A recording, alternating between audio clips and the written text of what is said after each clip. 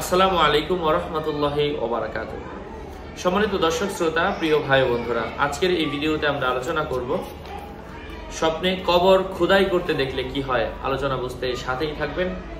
আমাদের এই চ্যানেলটি সাবস্ক্রাইব করতে ভুলবেন না। আজকের এই আলোচনাটা আপনাদের সাথে শেয়ার করছি তাফসিরুল আহলাম নামক কিতাব থেকে। মৃত ব্যক্তিকে হাসতে দেখা, এটা ক্ষমা প্রাপ্তির প্রতীক আল্লাহবাক বলেছেন উজু হুই মুসফিরা।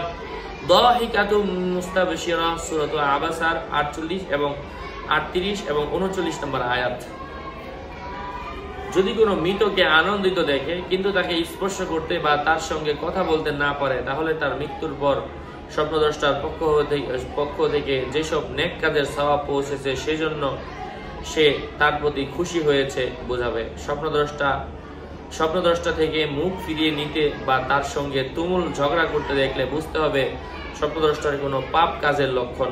কারও মতে যদি দেখে মৃত ব্যক্তি তাকে প্রহার করছে, তাহলে এটা মৃত ব্যক্তির জন্য ঋণ পরিশোধ করা বোঝায়। যদি কোনো মৃতকে ধনী দেখে জীবদ্দশায় যতটুকু ধনী ছিল, তার চেয়ে বেশি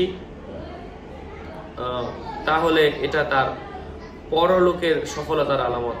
মৃতকে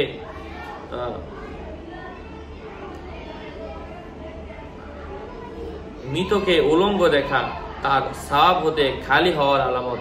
কারোর মতে মৃতকে উলঙ্গ দেখার ব্যাখ্যা হলো, তার শান্তির সম্মুখীন আলামত, পরিচিত কিছু লোককে আনন্দিত অবস্থায় নতুন কাপড় পরে কোথাও কোনো জায়গা থেকে বের হতে বা দাঁড়াতে দেখা, তাদের বা তাদের তাদের বা তাদের নিকট আত্মীয়ের, আত্মীয়দের স্বজনের কোনো কর্ম পুনরুজ্জীবিত হবে।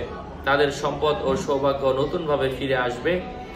তাদেরকে চিন্তিত বা তাদের জামা কাপড় নোংরা দেখলে তারা গরিব হয়ে যাবে, অশ্লীল কাজে পতিত হবে।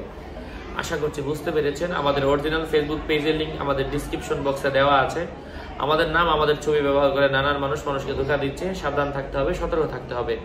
ওই আমার ছবি দেখলেই ওইটা আমি না। অরিজিনাল ফেসবুক পেজের লিঙ্ক ডিসক্রিপশন বক্সে দেওয়া। এরপরেও যদি কেউ প্রতারণার শিকার হয়, সে তার দায়ভার কিন্তু আমি কোনোভাবেই বহন করব না। আসসালামু আলাইকুম।